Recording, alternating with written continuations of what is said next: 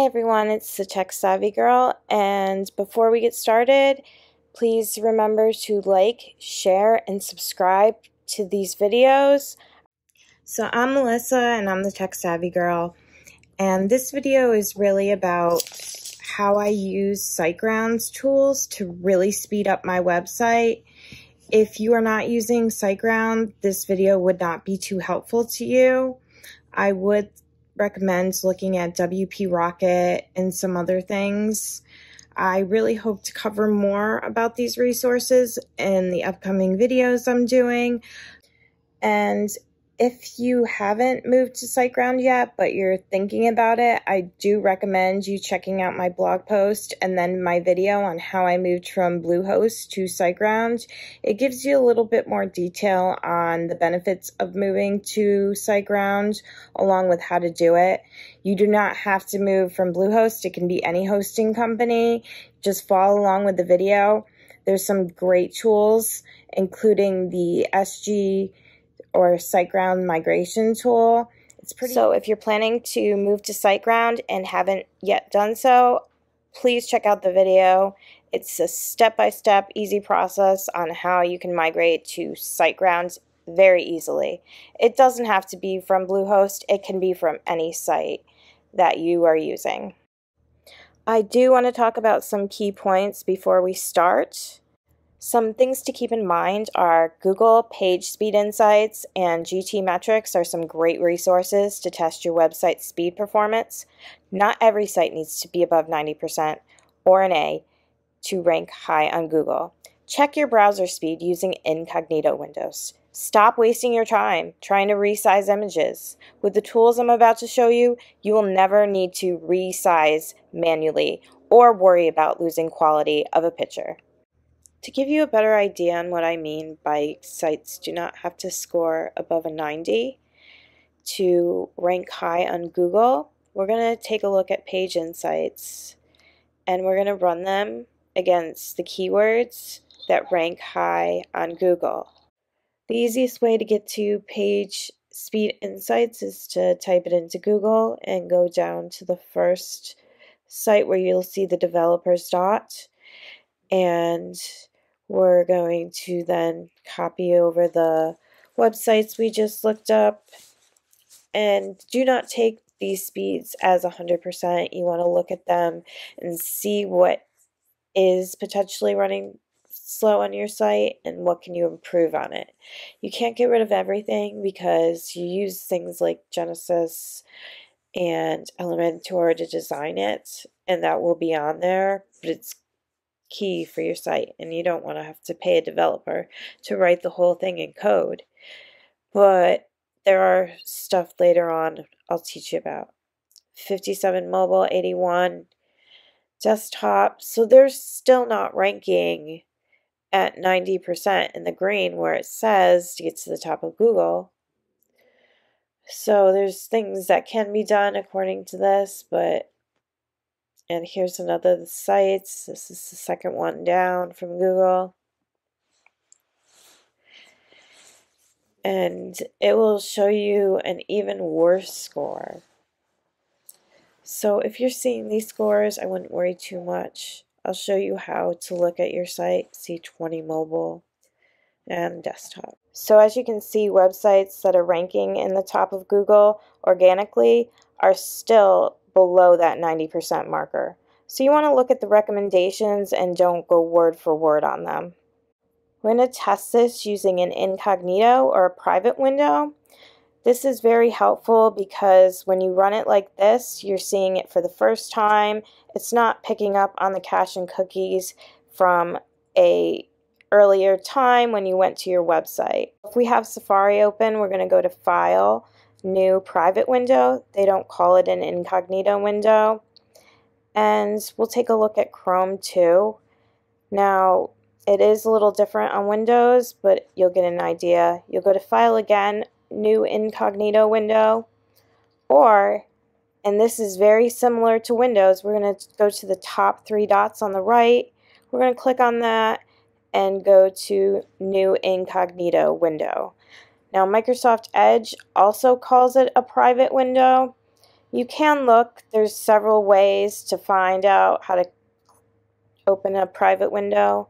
I'm going to run my site, see what it looks like from an outside user's perspective, and it looks like it's pretty fast. The first tool I want to talk about when speeding up your site using SiteGround is SG Optimizer, which is an all-in-one tool that can be used to optimize speed on your website. SG Optimizer you're going to find is located on the left side lower corner of WordPress in the tools. So we're going to click on that and we're going to turn on dynamic catching, also automatic catch purge, and then we're going to scroll down a little and we're going to try to turn on memcache. It might turn on, but you might also need to try some settings. So what you want to do is you want to log into your SiteGround site and we're just going to change some of the catching stuff under speed. We're going to go up to the top to my websites or websites I should say. And then we're going to click on Site Tools at the top right.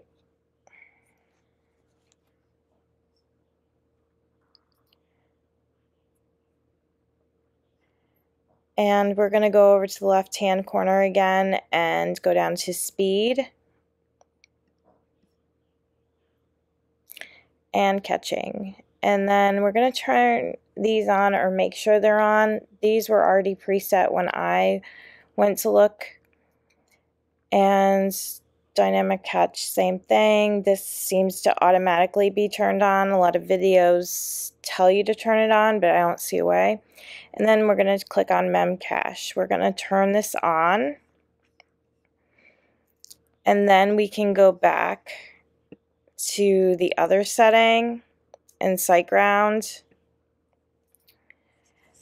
if it didn't turn on to begin with. Next, we're going to go up to the top and we're going to look at the environment optimization tools. We're going to enable HTTPS. We're also going to fix insecure content. We're going to leave the WordPress heartbeat optimization off this does cause a lot of issues with speed if you leave it on. We're going to turn the DNS fetch on and we're also going to schedule database maintenance. This is important in backing up your site. SiteGround does give you a free tool to back up your site daily, which I do use. And in case of an update going wrong, it's very good to have. So you want to make sure all that's in place. The next thing we want to do is front-end optimization. We're going to minify the HTML output, we're going to minify the JavaScript files, and we're going to combine JavaScript files.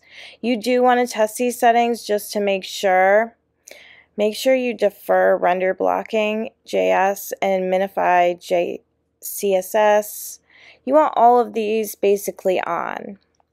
Now for fonts preloading, we're going to go over to another site to see which fonts we need to load.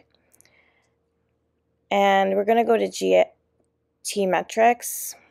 It's a great tool. I recommend it over using site tools with Google, it just doesn't give you a lot of detail like this one does. Also, you'll notice like these aren't very accurate in speed tests, but it does give you an idea of what you need to do to make it better on the front end for people, or I should say on the back end, really. We're just going to run this test, and it only takes a few minutes a lot of people use Google Speed Page Insights, which is fine. You will get the same information. It's just a little bit harder, I think, to use.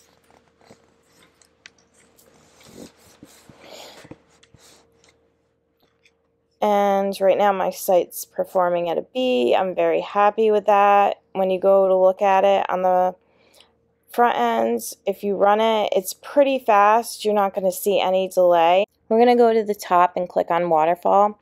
These are going to tell you the different things that are loading pretty slow on your website. As you can see, mine are pretty low right now.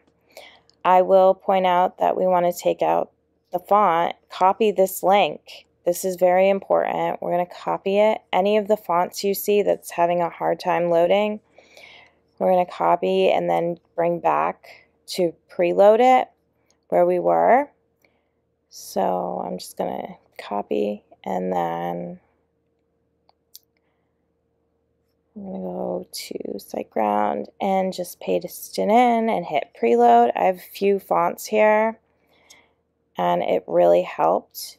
We also want to turn these on to remove queries and disable, disable emojis. Emojis can really slow down your site. I know a lot of people want to leave it on. The next few settings are very important though. The way I have it is the best way possible. I've turned everything off and on and spent hours trying to figure this stuff out. I'm telling you, the media optimization settings are great, but you have to use it exactly how I have it.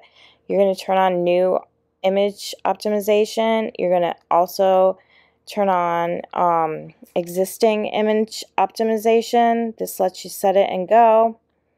We're going to also do um, WebP copies. This is the way browsers now see new images. Um, a lot of these settings you do want to leave off, even though they kind of sound, oh yeah, that's pretty good to have on. I've realized they've only slowed down your site. I was surprised that mobile optimization actually slows down the mobile part of your site. It makes no sense, I know. But please copy these settings. Don't do anything else. It's just a headache, I'm telling you. Another thing we want to talk about is um, this plugin for image optimization. You don't have to use the image optimization through SiteGround. A lot of people will use ShortPixel. It is an excellent way to optimize. It actually does a little bit better than SiteGrounds. This is free for a certain amount of photos, but if you have a lot of photos, I don't recommend you using this. It just you'll go down the rabbit hole of spending money, I'm telling you. Cuz even though the plans tell you that you get up to so many images a month, it's really not that many images. It's a lot less. They count images as points and the points just I'm telling you, they don't make sense. so I'm going to install this plugin and we're going to do the settings on it once it's activated. As you can see, I'm already over. It's just, it's a big hassle. But we're going to turn on Lossy and we're going to apply all these checks and we're going to go over to advanced next. These are just some more settings too you want to keep your images under a certain amount and I just did the default and the default was perfect. And over to advanced. And you want to turn on automatic and adjust your images. Also create the WebP like I said before this is a new way browsers. And if you create these type of images as well, it's going to just improve your site speed so much more. Just make sure everything over here is checked the way I have it and it will be great. I mean, this is far better than SiteGrounds tool. And once that's done, we're going to go down and hit or go back to general and we're going to do a bulk optimization. This will take a while for it to go. I, you can just set it and walk away and then come back to it. Just leave the window open, otherwise it's just to start all over again. It really does help with speed a lot more.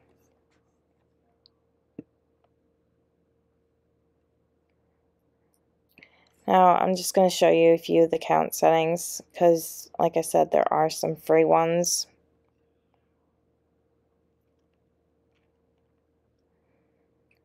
And okay, let's try it a different way. We're just going to go to upgrade and check out the pricing. So I have it at 16,000 a month. I do not have 16,000 images. I or actually I have it at 7,000. I don't even have that much. And you just keep going up and up. I thought about coming back next month and just trying it again, but as you can see there's a bunch of different plans. There's also a one-time fee plan which applies credits. A lot of people will do that. It's pretty popular. And there's like a few different options. Again, the points, nothing compares to this, but it's very odd.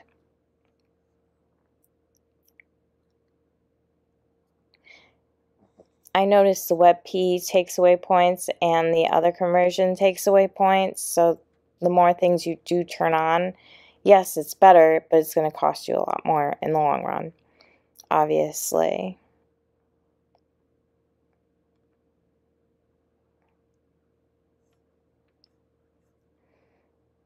These settings, though, have really helped me, and I really hope it helps you.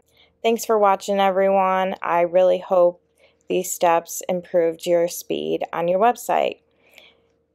Stay tuned for more great videos.